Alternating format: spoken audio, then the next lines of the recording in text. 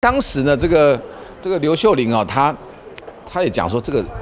这样弄不好啦，违法嘛，这样放宽了干嘛？好，那你全部变更完以后，那最后的结局是什么？你知道台北市的都委会的执秘是很大，一年动辄通过千亿的案子，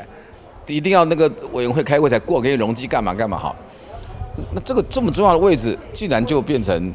一个一个闲差事变成副副秘书长室的一个参事，就就那个就反正就就闲差嘛。然后有功的人就升到直秘这么那么大的位置，那么重要的位置。所以阿北也是论功行赏啊，这件事情的事。所以啊，所以这个我觉得很离谱，这样会伤了这个台北市八万大军的心呐。市民上来讲，就一脚踢到二楼去啊。那十二跟十一有什么差？那那你家的你家的位置那么重要啊，还有主管加级，你是的阳春的一个参事哎，是不是？所以十二指的没用了，那个我什么位置才重要了？就是因为挡了金华城，所以把这个障碍的大挡挡人财路啊！当初啊，你这样搞我，我过了以后我还给你留在。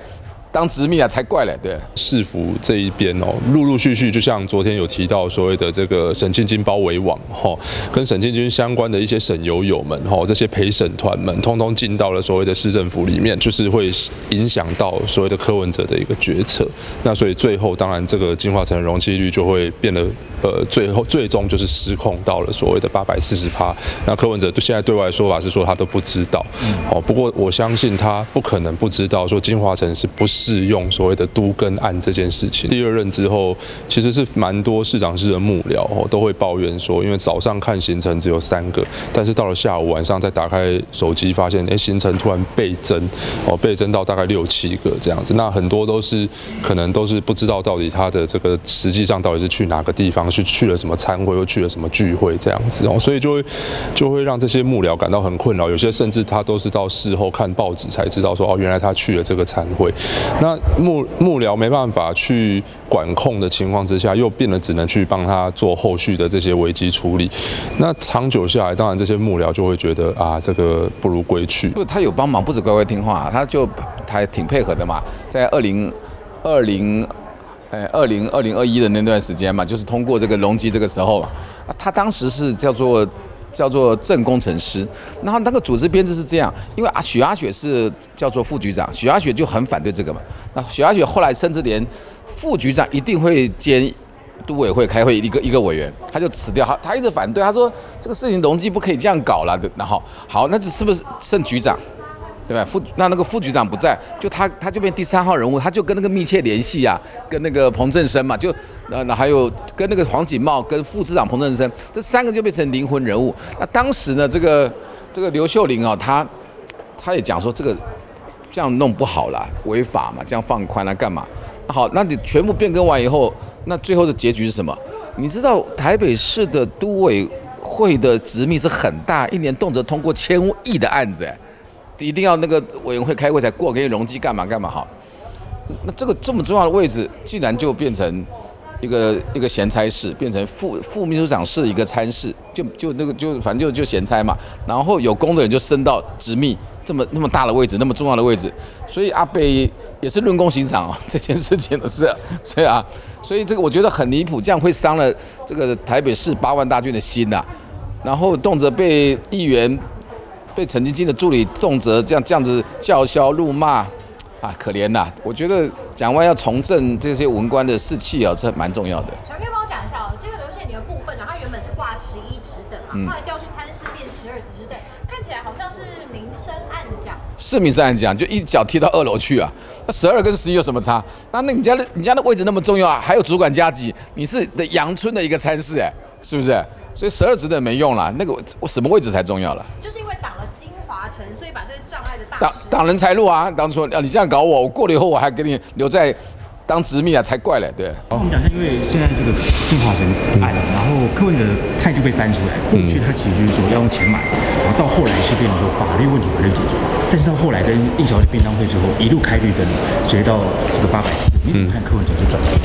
呃，其实应该是这样讲哦。过去当然，柯文哲在第一届的时候，你其实发现到他是非常坚持哦，就是他的这个容积率基本上就是比照郝龙斌时期的三百九十三，也就是说捐地三成之后的五百六十趴的容积率，所以是三百九十三趴嘛。那只是到后来，当然我认为，因为在市府这一边哦，陆陆续续就像昨天有提到所谓的这个沈庆金。包围网，哈，跟沈庆军相关的一些省友友们，哈，这些陪审团们，通通进到了所谓的市政府里面。那当然，某种程度来讲，刑诉出了一个事例，就是帮沈庆金在巩固一些相关的标案以及相关的这种工程，呃，当中以及相关的刚刚讲到像都金华城这种案子哦，在里面当然是某种程度来讲，就是慢慢的会，呃，可能也也就是。给这些长官们或是这些主官们有一些印象，是说，哎，这样子放宽确实是有它的必要性，哦，慢慢的去带这样子的风向。那再来就加上说，其实，在市政府里面，很多首长、很多局处首长哦，到后期像坚持所谓的三百九十三趴的这些首长，包含林清荣也好，包含所谓的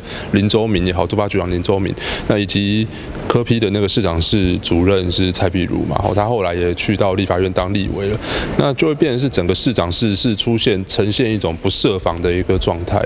那这种不设防的状态，当然长期下来就会让整个呃，变成是像这样子的一个声音，其他的声音没办法进去嘛，那大概就是只有以沈庆金为主的这样子的一个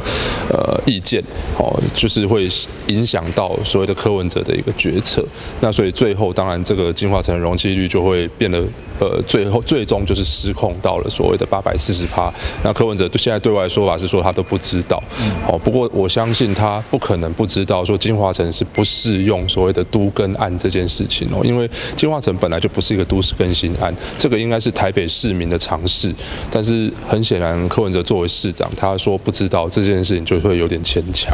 两个，因为而且你刚刚提到，其实包括沈游泳陪审团这些人陆陆续续进来哦，那是不是其实也是因为柯文哲？其实本来好说外面的这个行程都要透过秘书这边来登录，可是慢慢的他会。有一点刻意要避开监督，我用私人手机来登录，是不是在这个时间感觉就是刻意的要来跟这些财团慢慢的有联系？呃，其实到第二任之后，因为他当然第一任不断的主打是所谓的公开透明嘛，可是到第二任之后，其实是蛮多市长室的幕僚都会抱怨说，因为早上看行程只有三个，但是到了下午晚上再打开手机发现，哎，行程突然倍增哦，倍增到大概六七个这样子，那很多都是可能都是不知道到底他的这个。实际上到底是去哪个地方，去去了什么餐会，又去了什么聚会这样子哦，所以就会就会让这些幕僚感到很困扰。有些甚至他都是到事后看报纸才知道说哦，原来他去了这个餐会。那幕幕僚没办法去管控的情况之下，又变得只能去帮他做后续的这些危机处理。那长久下来，当然这些幕僚就会觉得啊，这个不如归去嘛。吼，就是因为很多行程都是他自己用手机自己输入进去。那主要也是因为当然在蔡壁。如离开市政府之后，过去这样子的一个机制是蔡壁如就做管控嘛？那我们其实每个礼拜都会有一个会议去讨论说，呃，他的一个市长行程要怎么安排。那这个是一个集体决策，可是当这个集体决策机制因为蔡壁如离开之后被拿掉了，变得是有点名存实亡的情况之下。那当然，柯文哲他很多事情他就会绕过，比方说底下的幕僚，那自己等于说自己做决定、自己做决策，或者是自己把这个行程就输入进去。那长久下来，当然我我认为这个就会有这样子的一个风险嘛。我就是说，比方说你去跟沈清金去这个陶铸影园唱 KTV 这件事情，那这个是不是会有一些额外大家额外的一些想象或联想？那对你的人设也是一种。毁坏，然后，所以我觉得这个是他自己应该要非常清楚的，对。